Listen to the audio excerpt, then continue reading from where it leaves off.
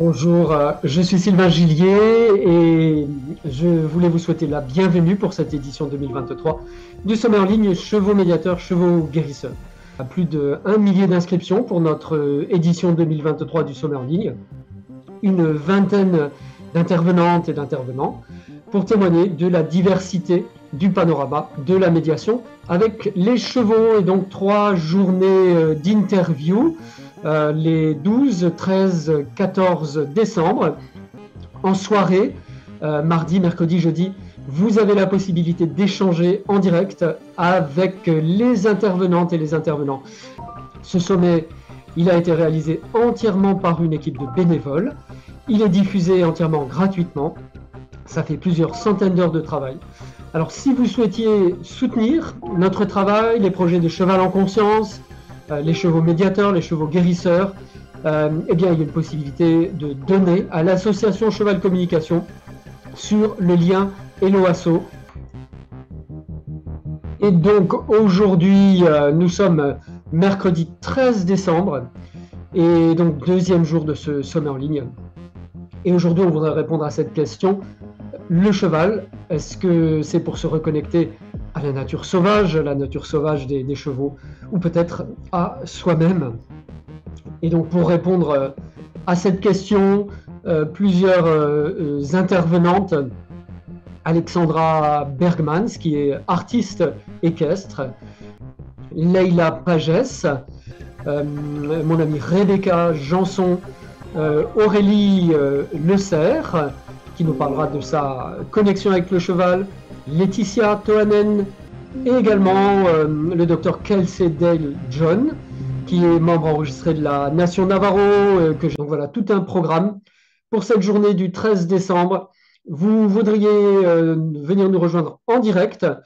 et donc c'est ce soir, mercredi 13 décembre à 19h, avec le lien Zoom qui est en dessous. C'est nécessaire de vous inscrire sur Zoom pour euh, donc questions-réponses en direct avec euh, les intervenantes.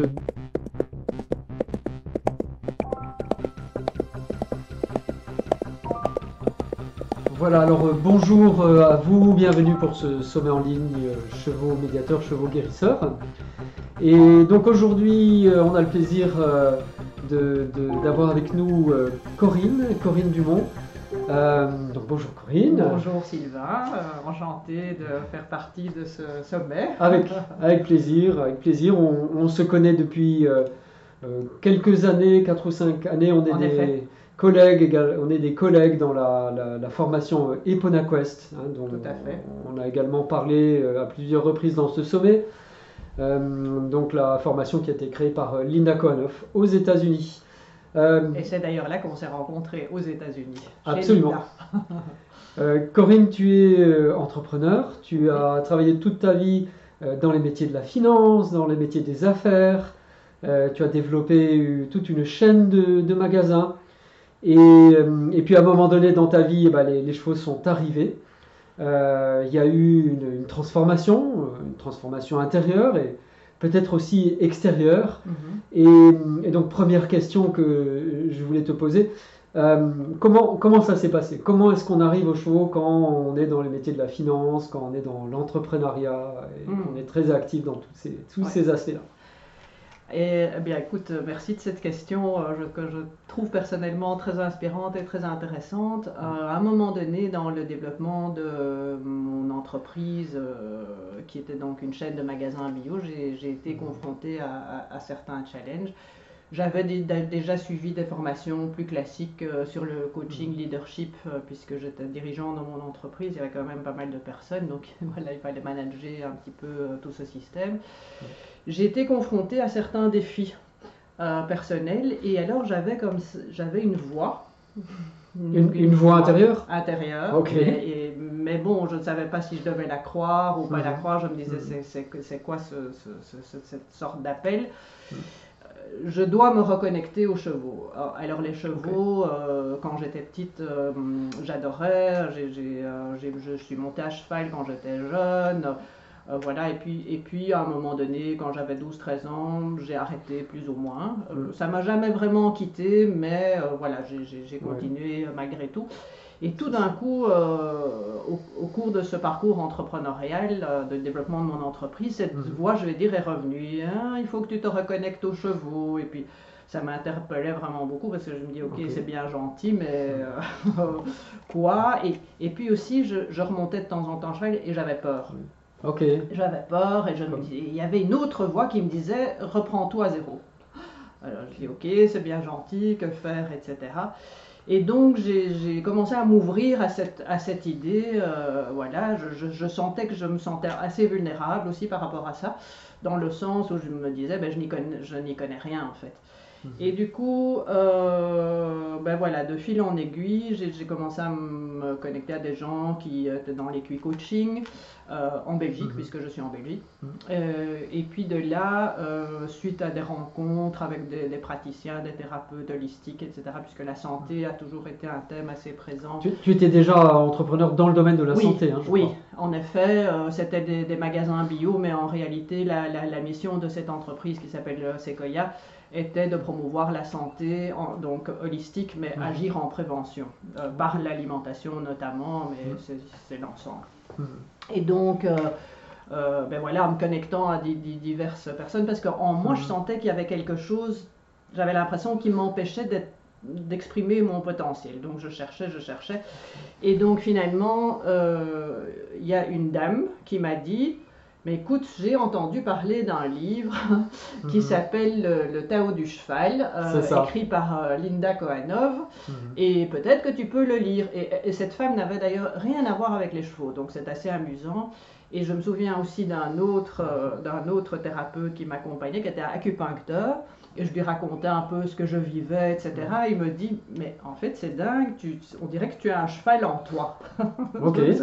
il avait perçu euh, quelque chose. Il avait perdu quelque chose, perçu quelque chose, perdu quelque chose d'intéressant.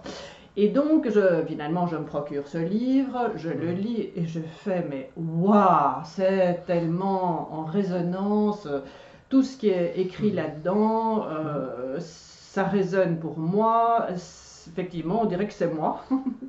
et, et, c'est moi aussi par rapport à cet appel des chevaux que, que, je ressentais déjà depuis longtemps, mais je n'osais pas du tout passer à, on va dire, à l'action. Mhm. Donc voilà, ce livre m'a très fort inspiré. Et puis de là, ça m'a, ça m'a, je me souviens d'une autre discussion. Bon, c'est des petits détails, mais qui, qui, sont importants chaque fois pour aller à l'étape supérieure. Je, je, discute avec une amie dont la fille montait à cheval. Et je dis, oh là là, j'ai une voix intérieure qui me dit, reconnecte-toi aux chevaux. Mais je résistais. Mais j'avais lu ce livre, mmh. et donc elle me dit, euh, bah, vas-y, hein, qu'est-ce qui t'empêche de... C'est un peu mmh. comme si elle m'a donné une permission. Et, et, je me suis dit, bah oui, essaye, et puis tu verras bien. Et j'avais l'impression, j'avais peur, en fait, quelque part, que ça change complètement plein de choses dans ma vie. C'était en fait une bonne chose, mais ça je ne savais pas. voilà, et donc euh, du, de fil en aiguille, j'ai évidemment creusé Linda Kohanov mhm. euh, sur Internet, euh, Eponaquest, etc. Et je, je, me suis renseignée et j'ai voulu, euh, je me dis, oh là là, je dois absolument faire cette, ces formations. Ouais. Et donc j'ai commencé par un trajet en Europe d'abord. Ok. Voilà. Et de fil en aiguille, euh, bon, je suivis les prérequis. Mhm. Euh, je ne sais pas si tu veux. Euh, non, mais je, je, je, suis un peu étonné en même temps parce que dans le, les métiers de la finance, on, est, plutôt, disons, dans les chiffres, dans la rationalité, dans le factuel.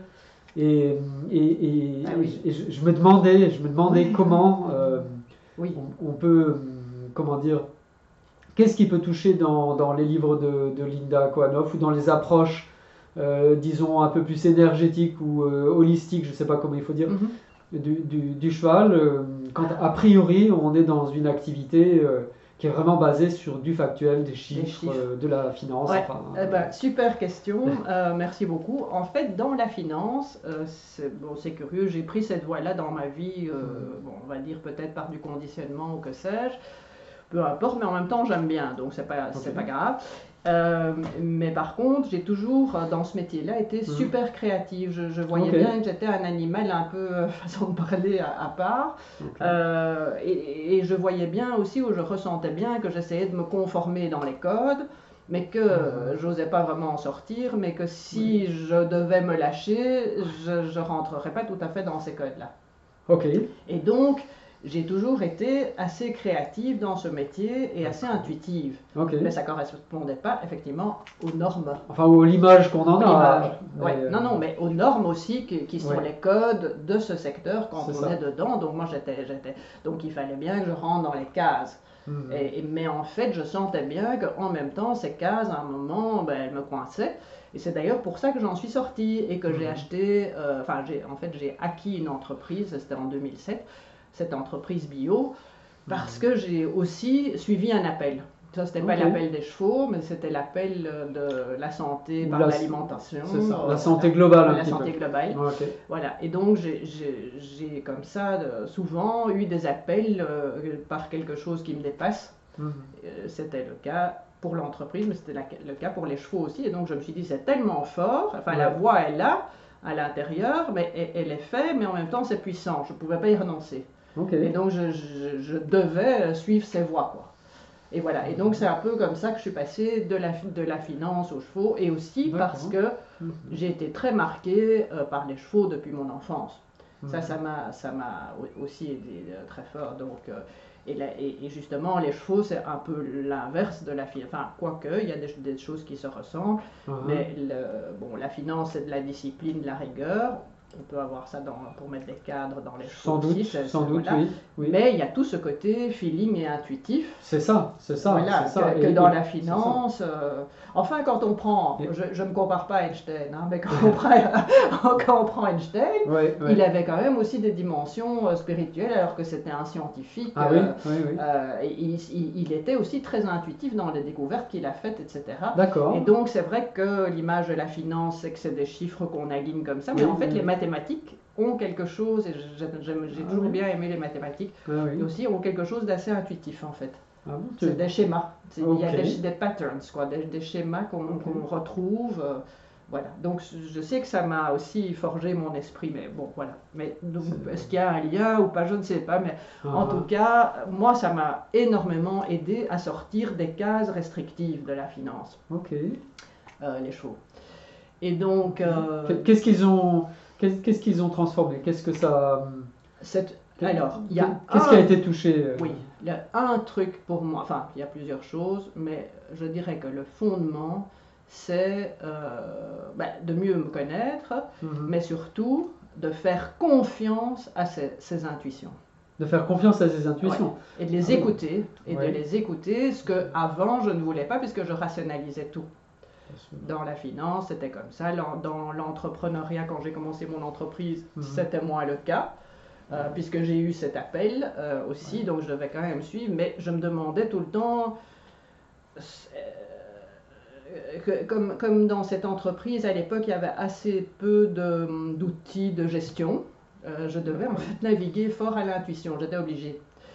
Et je me dis, ça c'est quand même incroyable de, de comment dire, de, de, conduire ou de mener une entreprise avec euh, juste à l'intuition. Enfin, ça me ah paraît euh, fou, oui, quoi.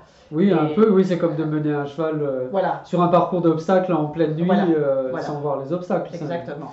Et donc, je me suis rendu compte, plus j'ai avancé sur ce parcours avec les chevaux, ah, hein plus je pouvais euh, retirer de ces expériences des, parallèles mhm. entre la façon d'aborder effectivement les obstacles, mhm. euh, même dans, dans, la façon de, de dire, ben, par exemple, si on a un parcours avec un cheval où on doit passer par A, B, C sur une piste, Tout à fait, oui. Euh, il y a toujours la part animale de l'animal qui, qui est de nous, qui, qui ben, dans l'instant présent, va se dévier de, sa, de ce A, B, C. Donc, qu'est-ce qu'on fait dans l'instant pour euh, remettre les choses euh, sur le chemin, mais, mais pas d'une manière euh, violente et agressive et radicale? D'accord. D'accord. En tout cas, moi, ça m'a beaucoup apporté dans la communication aussi. Communication, mais au sein de l'entreprise alors ou comment bah Déjà de moi à moi. Ah, ok. De, de, communiquer avec des, des, des, parts de moi qui parfois étaient très. c'est comme ça, très tranchantes. Très tranchantes de développer les nuances, euh, ah de dire c'est pas aussi blanc ou aussi noir. Euh, voilà. C'est pas parce que le cheval s'écarte un peu du chemin que, que on peut pas y revenir. Et ça amène plus de fluidité, je trouve. Enfin, voilà. Euh, Donc l'intuition, la, la, la, nuance, c'est vrai qu'on est pas dans l'image que moi j'ai de la, de la, finance avec les, les chiffres, hein, parce que les chiffres sont ce qu'ils sont et dire qu'il y a une nuance, je ne sais pas exactement comment ça, ça peut fonctionner. Et d'un autre côté, c'est vrai que le, les, les, chevaux sont des animaux puissants, beaucoup plus puissants que les humains, ils ont des réflexes plus rapides, euh, ils ont certainement de l'intuition, ils ont de, l'instinct également. Hein, ils réagissent très vite. Et c'est vrai que si on est en, situation de, euh, de, rapport de force avec un cheval, eh ben on va, ça va pas. Ça va pas. On va toujours, euh, on va toujours perdre en rapport de force direct. Mais, voilà. Et en fait, ce que justement, tu me fais penser à quelque chose d'autre qui est quand même super important aussi, mm. surtout quand on vient de la finance et on va dire d'un côté euh, très intellectuel, etc. On est dans la tête. Alors que euh, les chevaux nous obligent absolument à revenir dans le corps tout le temps, tout le temps, tout le temps, et donc s'ancrer euh, vraiment, et donc de ressentir qu'est-ce qui se passe vraiment dans notre corps euh, comme source d'information. Euh, ce sont en fait tout ce qu'on ressent, nos perceptions, nos ressentis, nos émotions, etc. Plutôt que de les voir comme un problème, ce sont des, à, apprendre à les décoder comme source d'information. Mhm. Et donc, ce que j'ai vraiment découvert au fur et à mesure de mon parcours, euh, bon, comme instructrice dans EponaQuest, à la fois comme, comme euh, élève participante et comme trans, dans l'enseignement que, que, moi je transmets à, à, certains clients, mhm. c'est vraiment cette importance du corps. Euh, qui est un et, et, parce que le corps est un tel euh, moi j'aimais bien quand, quand Linda dit toujours notre, notre corps c'est notre superpower c'est mhm. vraiment notre zone de génie euh, il y a une intelligence dans le corps mhm. qui, lorsqu'on est conditionné, programmé euh, mhm. par euh, le côté tête, intellectuel, mhm. etc., ben on se prive en fait de tout ce qui est non-verbal. Et c'est l'importance du non-verbal dans... Bon, ça correspondait bien à mon approche holistique, puisque déjà je, percevais qu'il y avait des choses beaucoup plus que ce qu'on les apparences. Donc les chiffres, c'est ce qu'on voit. C'est ce qui découle pour moi de d'une série de, de, perceptions d'invisibles en amont qui, qui, qui, qui, font qu'à un moment donné, ben oui, il y a des chiffres qui sont alignés, mhm. mais c'est le résultat de tout un esprit et de, choses qui se passent d'invisibles en ah fait. Et ça, ça a toujours été le, le, cas dans mes... Mais je ne parvenais pas à mettre vraiment des mots là-dessus. J'ai toujours perçu ça. Mhm. Et donc, l'approche du cheval, et surtout l'approche Eponaquest, avec cette notion de, d'intégrité, d'authenticité, etc., m'a permis de, de me dire, mais au fond, cet invisible, il a une valeur. Il a vraiment une valeur, mais énorme. Alors que quand on vient du monde de l'entreprise, des affaires, etc., les gens sont très c'est pratico-pratique, euh, le concret, le matériel, euh, la technique, les plans d'affaires, les plans d'affaires, euh, etc. Et en fait, pour moi, je ressentais que ça ne fonctionnait pas comme ça. Mais je parvenais pas à... Et donc, tout ce travail avec les chevaux a, contribué à énormément, comment dire, renforcer ma confiance dans ce que je ressentais. Mais on, parle d'invisible euh, et de relation à l'invisible, mais pourtant notre corps, euh, il, est visible. Oui, oui, euh, oui, oui. Il, est, visible, mais il capte. comment ça s'est passé pour toi justement de découvrir ah qu'est-ce qui se passait dans ton corps plutôt que dans la tête avec les tableaux de ah, chiffres, etc. Ça a été très difficile. Hein. ça a été très difficile. Ça a été difficile de me connecter à mon corps parce que Bien, bien sûr que je ressentais des choses, mais je n'étais même plus conscient. Je m'étais tellement dissocié, c'est comme ça qu'on appelle ça. Euh, donc, c'est-à-dire que surtout dans les, les, affaires, surtout en Occident, on est, on est fort dans cette tête qui est nourrie d'informations, etc. À un moment donné, c'est trop. Et, et, du coup, euh, aussi, pour se protéger, on apprend à se blinder, à se protéger de, de pour ne pas ressentir, parce que quand même le monde des affaires est assez violent et agressif. Oui, enfin, il n'est il est pas, réputé, il est, il est pas réputé pour être euh, le monde des bisounours, a priori. Voilà, hein, voilà. Euh, je ne suis pas dans le monde de, la business, mais de, ce, que, de ce que j'en sais, c'est pas forcément des, des bisounours. Et, euh, et donc tu parles de dissociation? Dissociation, c'est vraiment la- le, le sentiment que Ouais. je, qu'en tant que je j'étais euh, dans la tête, j'étais protégée. Parce Ah que je suis blindée dans mon corps, c'est comme si j'ai une armure. J'ai construit ça, cette armure, ben, je- j'en étais pas consciente à l'époque. Mhm. Et ce qui m'a un jour frappé, c'est que je me dis, tiens, j'avais fait tout un parcours personnel en nutrition pour, pour voilà, euh, je trouve très très important de, de- de manger euh, Mhm. organique, bio, etc. euh, healthy, euh. Et, et je, et en même temps, je vais chez un thérapeute et il me dit, euh, il me, me questionne un petit peu, il me dit, qu'est-ce que vous ressentez?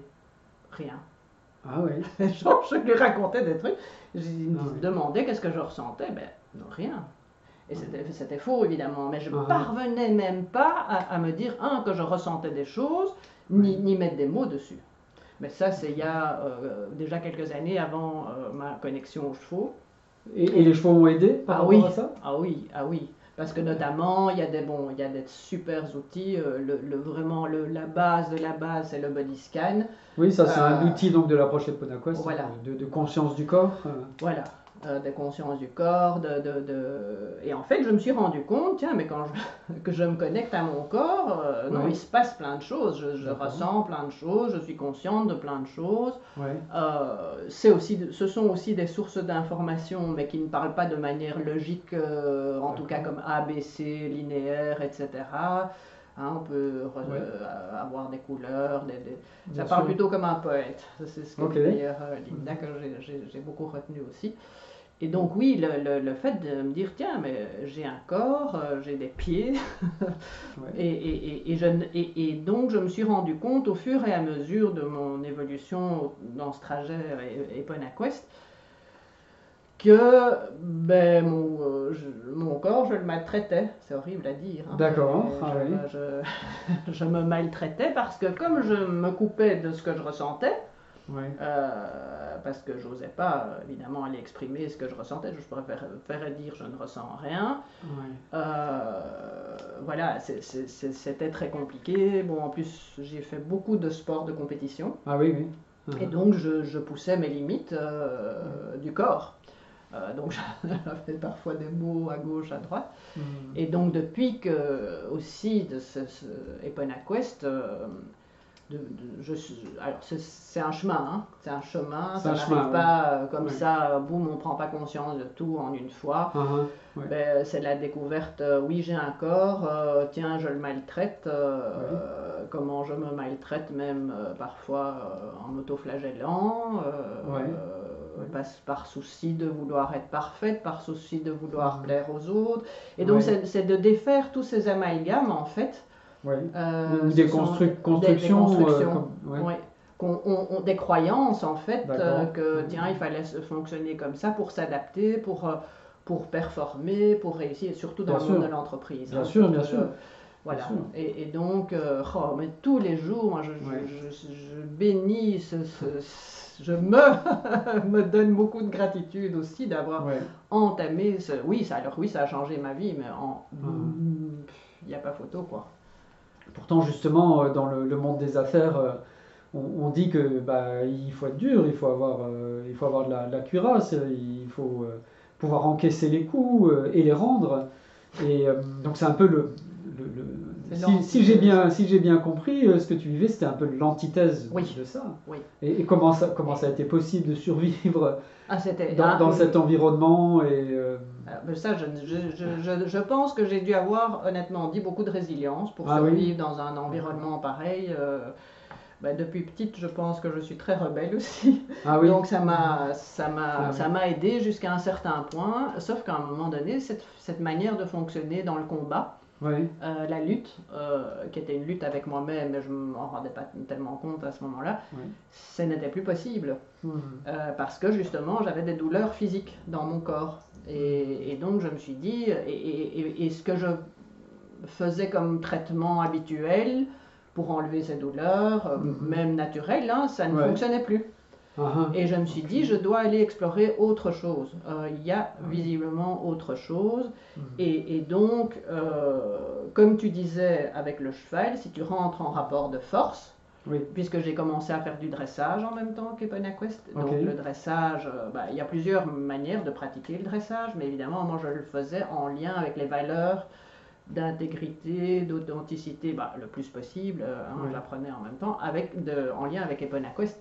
Et du coup, euh, on voit bien qu'on on gagne jamais contre le cheval.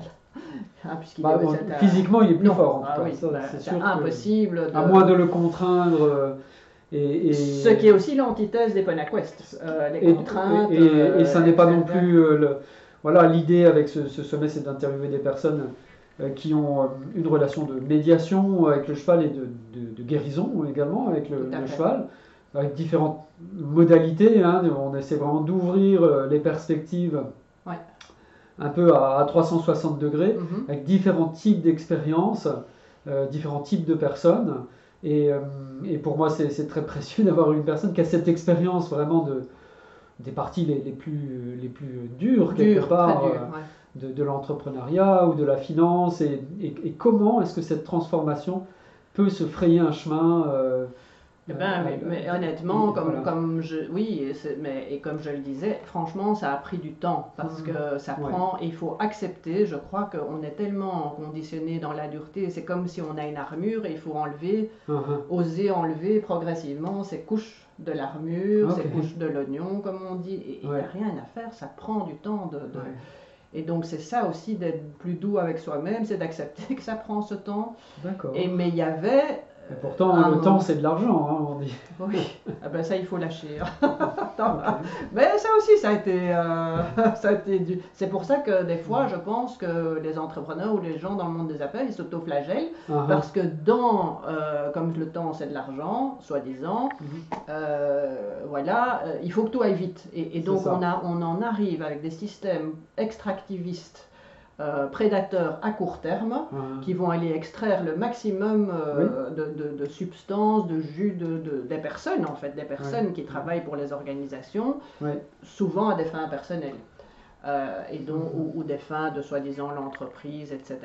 Mais donc, il n'y a rien à faire, c'est d'accepter. À un moment, moi, ma première prise de conscience, c'était je ne peux plus fonctionner comme j'ai fonctionné jusqu'ici. Il y a quelque chose d'autre qui est en train de se passer. Bon, il m'est arrivé en plus durant tout ce trajet certains déboires ou des challenges personnels, euh, voilà, qui m'ont aussi beaucoup, beaucoup questionné. Je me suis dit, oh là là, qu'est-ce qui Donc il y a la vie également qui propose des expériences euh, transformatrices, clairement. Clairement, Et, et, ces expériences transformatrices, euh, dans mon cas, en tout cas, ça a été des expériences relationnelles. Des expériences relationnelles. Donc, c'est pas euh, des expériences, tiens, mon business ne va pas bien, parce que non, c'est des, des expériences. J'ai eu beaucoup d'expériences de, bah, de tensions, de conflits euh, dans les, les, les, équipes euh, ou les groupes managériaux, on va dire, dans lesquels je me trouvais, mais surtout à partir du moment où j'ai commencé à me dire, mm. je ne veux plus rentrer dans ces vieux systèmes. Ah, avant, comme je me conformais, il n'y avait pas de souci évidemment. Uh-huh. C'était moi qui prenais sur moi uh-huh. et je, mon corps physique se dégradait, ah ma santé se dégradait, euh, uh-huh. mon psychisme aussi, mais ça je m'en rendais pas compte, mais j'étais stressée, je travaillais tout le temps sous stress.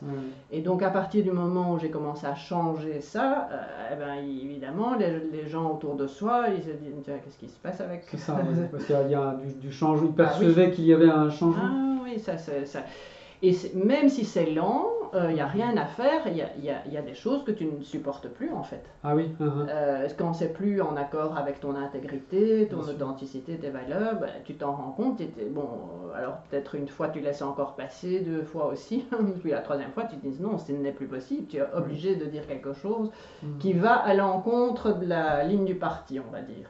D'accord. Et donc, du coup, euh, bah, tout, tout, ce qui ton système relationnel, enfin, en tout cas, moi, mon système relationnel autour de moi, il a énormément changé parce que, parce que moi, je, je, je, me transforme. Après, des fois, euh, j'ai eu vraiment des choses qui se sont opposées à moi, des, des relations qui se sont ah, opposées, ou, moi à eux, enfin, qui, qui créent quoi, voilà. En même temps, des fois, avec le temps, on, on constate qu'il y a quelque chose qui se passe et qui se transforme. Dans la relation mieux, oui. Euh, mais en, en, apprenant à lâcher, prise, en fait. Et ça, je, je, je, je trouve que chaque fois que je, me suis rendu compte, et ça c'est aussi grâce aux chevaux, honnêtement, euh, parce que je me, je me rendais compte dans ma relation au cheval que parfois je- voulais trop quelque chose Ah, ah. et je me rendais compte que quand je lâchais prise sur mon enjeu, Oui. il se passait D'accord. Une connexion Oui. qui n'était pas possible avant. Et Quand- donc je me suis dit, tiens, ça c'est intéressant, euh, etc. Et donc je- tous, tous ces principes-là, relationnels, parce que les entreprises, c'est des relations, hein, ce ne sont que des, c'est des personnes. hein. Oui. On est tout le temps en relation avec des... des- sauf des- sauf oui. quand il y a des robots, euh, Oui. n'est-ce pas mais Mais ils sont conçus par des personnes. Ils sont conçus par des personnes, a priori. Oui, c'est vrai. oui, oui. Ouais. Et donc, euh, donc voilà, ça, ça- moi ça m'a aidé euh, plus. Déjà j'avais la conviction, moi j'ai toujours bien aimé le travail d'équipe, j'ai fait des sports Ah, d'équipe, etc. Ouais, ouais, ouais. Donc ça venait aussi renforcer la conviction, euh, comment peux-tu sortir de la compétition que je vais appeler malsaine Ah, ah. pour être, euh, donc euh, c'est moi qui dois vaincre ou convaincre, etc. Euh, plus vers, ok, tu peux être compétitif ou tu as envie d'exceller, ça, ça j'ai pas de souci. Bon, voilà, jusqu'à un certain point. Et collaborer.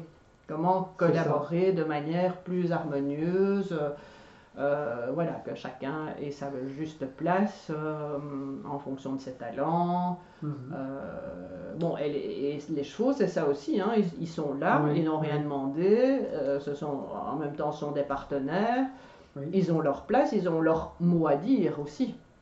Oui, dans, dans la dans le- relation. bien sûr, dans le troupeau, ils Dans le se- troupeau. ils se privent pas de, Voilà, de, de dire, de manifester, hein, euh, de remettre éventuellement les limites, de... surtout, ouais, surtout, ça c'est très important. C'est c'est quelque chose aussi chez- que j'ai beaucoup appris, c'est les limites. Oui, oui c'est souvent quelque chose qu'on Ouais. apprend, euh, que, que moi j'a- j'apprends à des, à des patients, et voilà, parce qu'il y a beaucoup de, de problèmes de limites qui ne sont pas clairs ou qui ne sont pas respectés de Ouais. part et d'autre, et Oui. c'est certainement quelque chose qu'on apprend euh, Ouais. avec les chevaux. Quand on avait préparé l'interview, euh, Oui, on avait, euh, on, avait parlé des, des métaphores. Tu m'avais Oui. dit que les- les- le- dans le monde de l'entreprise, il y a des métaphores de ce qui se passe Oui. avec les chevaux et, Oui. ou des parallèles. Et, quel, genre de, quel genre de métaphore, quel genre de parallèle? Puisque euh, si je comprends bien, le milieu de la finance est un milieu un peu prédateur, euh, un peu beaucoup. un peu beaucoup, enfin en tout cas qui Ouais. cherche à maximiser les profits, Mm. euh, avec des valeurs du, du troupeau des, des chevaux qui sont un peu opposées à ça, qui ne sont pas des valeurs Ouais. prédatrices, mais plutôt des valeurs de... Oui. euh, De, de, de- comment on dire ça? Oui, de rassemblement, de leadership partagé, Oui. de, de partager le pouvoir. Oui. euh, Oui.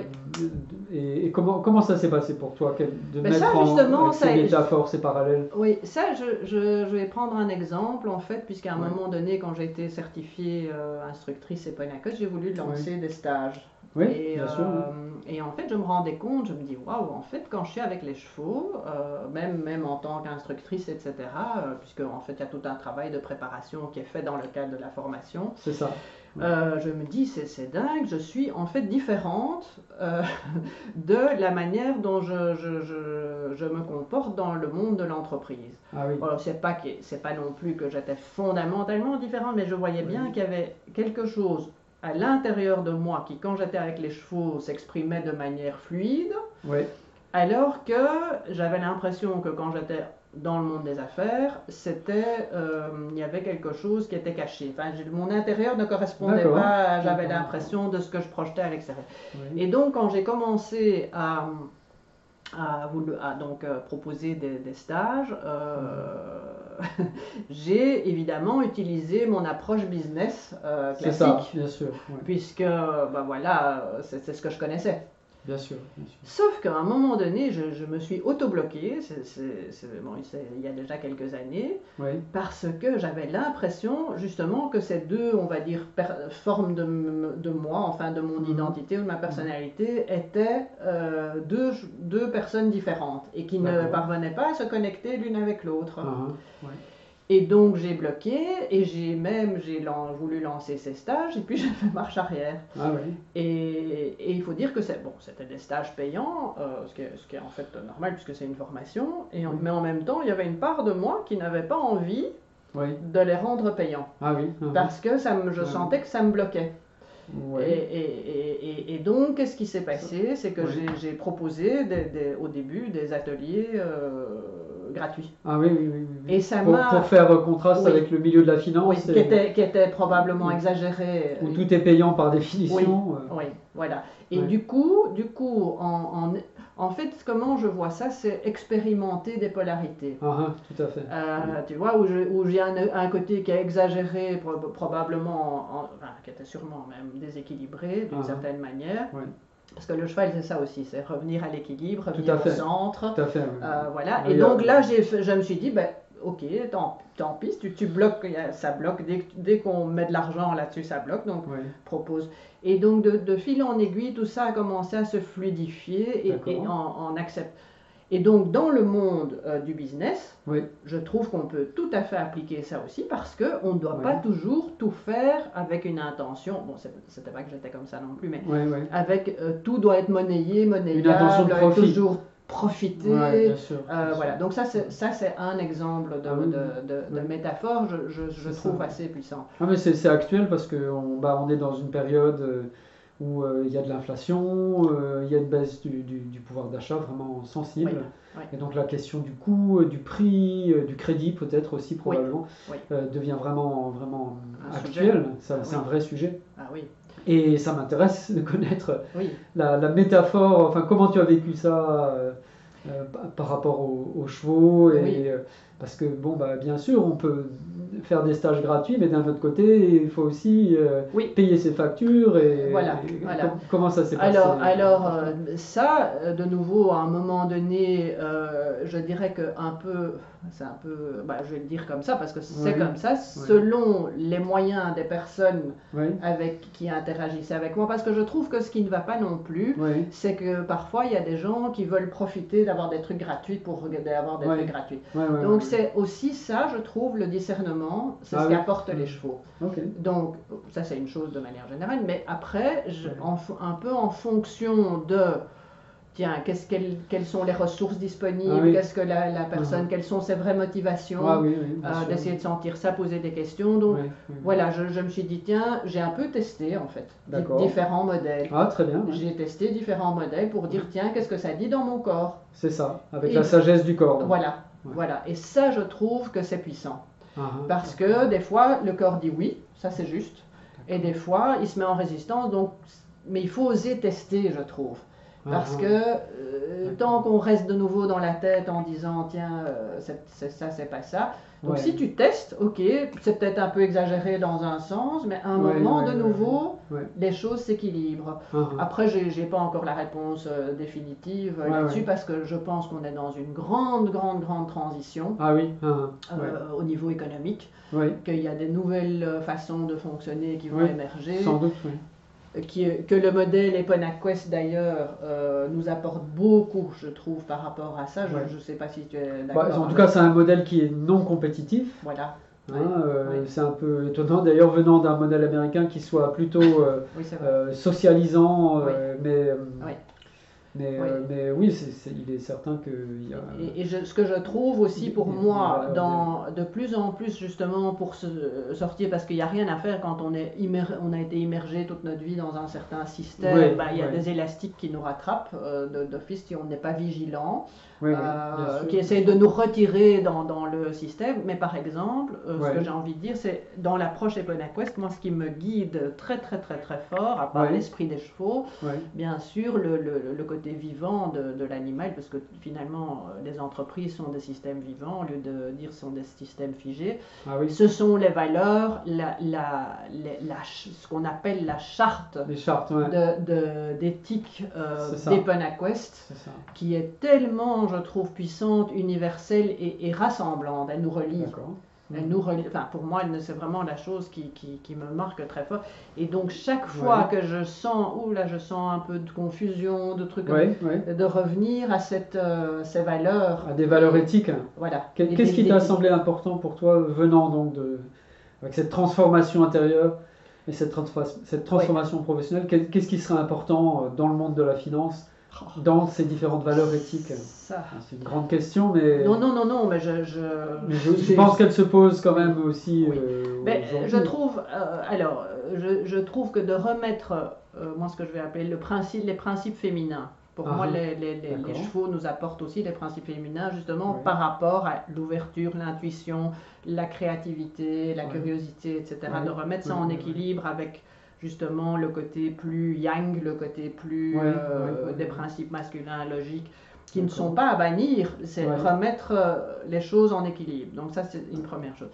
La deuxième euh, chose, justement, c'est- de pouvoir travailler sur soi Ouais. et détecter déjà à notre niveau euh, personnel Ouais. euh, quand est-ce qu'on n'est pas dans l'authenticité. Ah oui, d'accord, très bien.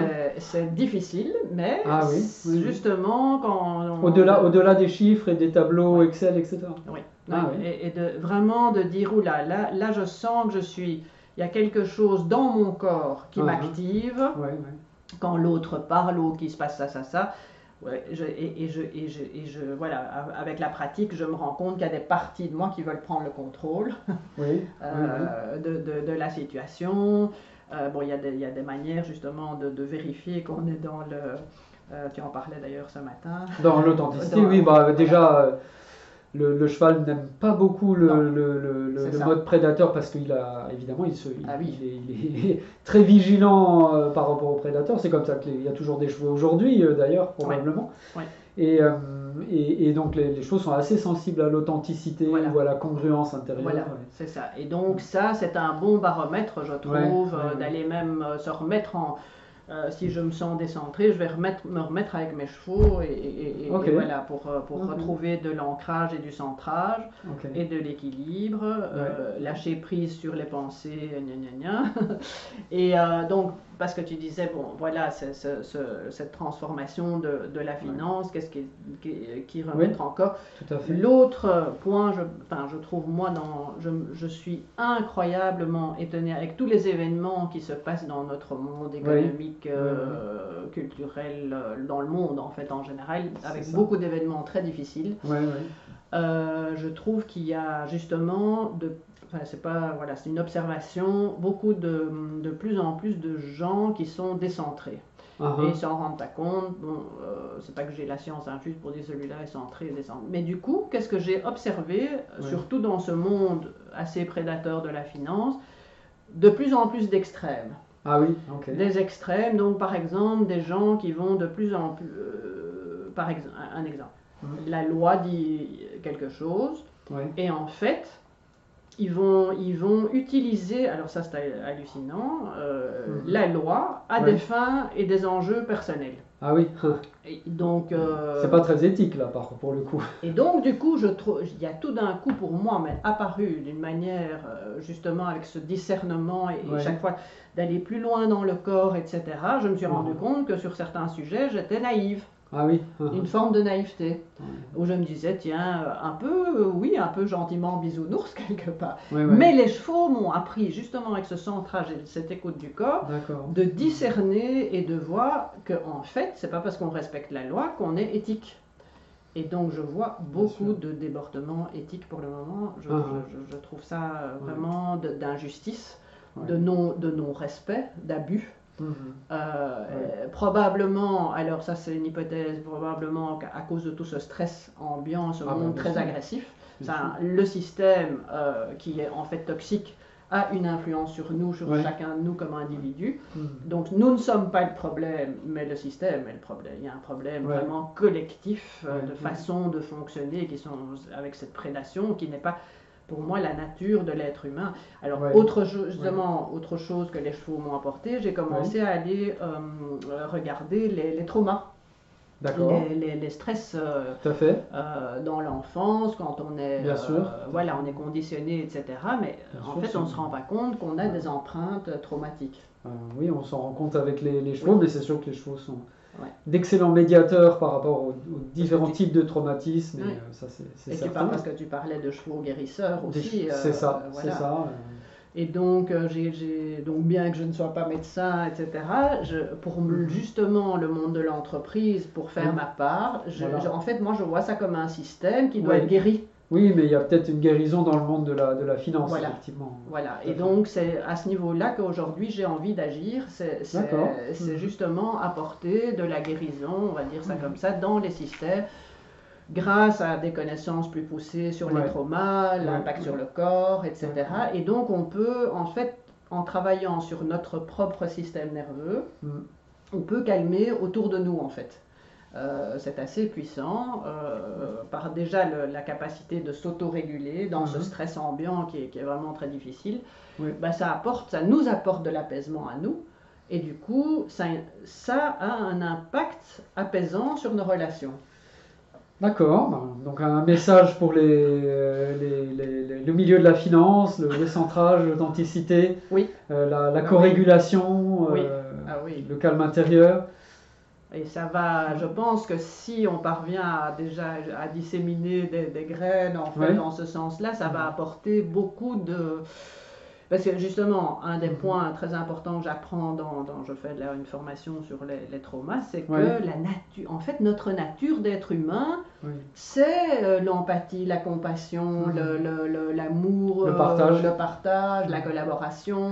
Nous sommes des, des êtres sociaux, comme les chevaux d'ailleurs. Euh, nous, nous avons besoin du troupeau pour, pour nous épanouir, etc. Mais on a été tellement conditionnés depuis hein, un lavage de cerveau depuis toutes ces années, surtout dans la finance, euh, qu'on on- on croit qu'on est autre chose que ça. Mais en fait, Ouais. les chevaux nous permettent de revenir à notre nature authentique, je trouve. Alors merci pour euh, ce témoignage. Une, une dernière question euh, que je pose Oui. à, À à toutes les, les intervenants, les intervenants.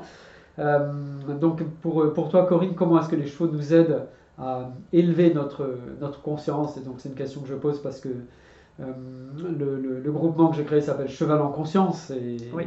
Donc comment, de ton, de ton point de vue, les chevaux peuvent nous aider à élever notre conscience? Ah, Mais justement, je, je, je, je trouve en fait que, les, enfin moi, comment les chevaux m'ont aidé à, euh, en, en, en, en fait, quand on interagit avec le cheval, On, en fait, on est beaucoup plus à l'écoute de nos feelings, de nos sensations. Évidemment, c'est quelque chose qui s'affine au cours de- du temps, de l'expérimentation, de- des progrès qu'on fait. Et donc, cette, euh, cette- ces perceptions, ces, sensations, le, le fait de pouvoir dire les émotions sont des informations, des sources d'informations.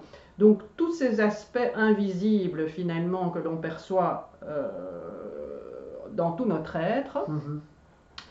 nous permettent, euh, et m'ont certainement permis, de, de- de mettre euh, le doigt Mhm. sur des choses probablement que je ressentais inconsciemment, mais qui deviennent de plus, enfin, qui, qui, qui- oh, comment je pourrais expliquer ça, qui, qui, qui partent de l'invisible et qui deviennent plus visibles. Et donc ils révèlent, les chevaux révèlent toute une série. Euh, si on prend l'interaction avec le cheval, en fait, il se passe toute une série de choses qu'on ne voit pas. Ouais, sûr. Et donc, plus on, on pratique, Mhm. parce que c'est vraiment basé sur la pratique, Oui, oui. plus on pratique, plus on se rend compte de notre sensibilité. Et donc, la Ouais. sensibilité, j'ai envie de terminer là-dessus peut-être. Mhm. C'est, moi, je l'ai souvent vu comme une faiblesse, Mhm. Alors que, on- en fait, on, on retourne à notre nature hypersensible, je dirais même, et sensible. Et, et en fait, c'est une telle force Mhm. pour transformer justement positivement, on espère, Mhm. les relations. Bon, ben, merci beaucoup euh, Corinne. Alors on va effectivement euh, Ouais. euh, baser sur cette transformation du, du monde de la finance et puis de notre, notre monde intérieur aussi vers Ouais. plus de- d'éthique, de sensibilité et puis de, de travailler ensemble. Alors encore une fois, merci beaucoup pour cette interview. Merci à toi.